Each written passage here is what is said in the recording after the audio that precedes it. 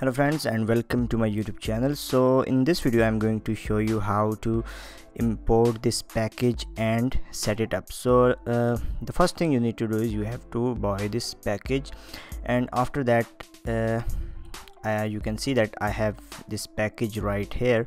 Now I am going to double click on it and it is going to open this uh, unity window.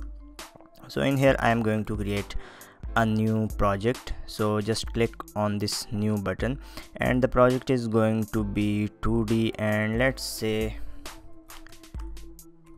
testing multiplayer and hit create button. Now after that uh, this window will appear and make sure that each and everything is selected and click on the import button. So this is going to import the package now. Now after importing the package you will see there are a lot of errors right now. This is because we haven't imported the photon plugin yet. So just go to the asset store and log in with your id and uh, search for photon pun 2 package so if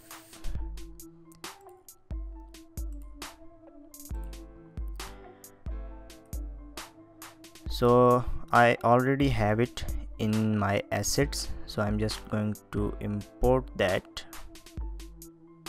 So right now you can see that we have free version of pun 2 and the current version is version 2.9 and I am using Unity 2018.3.1 and this project was built using 2018.2.4 now just hit the import button. You will see right here if you don't have this in your my assets you need to search here and download and then import this package now the same window will appear. Make sure that each and everything is selected and click on import.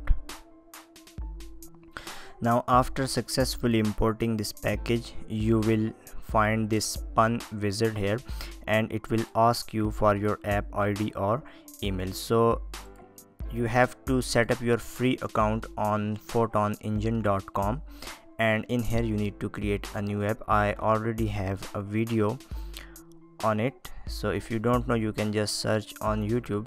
Now i have i have created several games. So let's copy the app id from here and go back to unity and paste the id in here and click on the setup project. Now you can see that our project is now set up. Now close this window and in the photon server you can do these settings. You can either change the logging to informational or full but we are not going to do that right now. Now after that in your console window you will just clear it and you can see that we don't have any errors now. Now the next thing you need to do is you need to go to the project in the scenes. Open up your sample scene sorry in the project you will see a scene folder.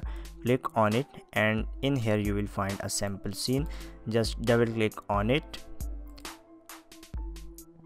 And now our sample scene is loaded. Now the next thing you need to do is you need to go to your build settings and drag this gameplay scene into your build settings. Now click on the build to build the project so i am going to create here a new folder.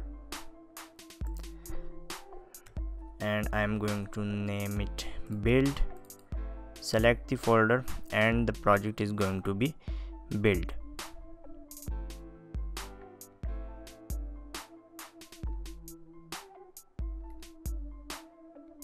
Now you can see that our build is successful now I am going to click on this testing multiplayer. And we are going to select the 640 into 480 and check the windowed and hit play. Now again click on it and run another instance to check if the multiplayer is working or not. So now you can see that I have both builds right here. So in here I am going to type the name pc1 and here is pc2 now we are going to create a room. So let's say room and hit create button. And now you can see that on the other instance we have our available room. Now i am going to spawn the player right here and we can move it using uh, WASD keys. Now i am going to join that room by clicking on the room and spawn our player right here. Now you can see that by hitting the right control we can shoot and our health is decreasing. We killed pc1 and he's going to respawn in 5 seconds right here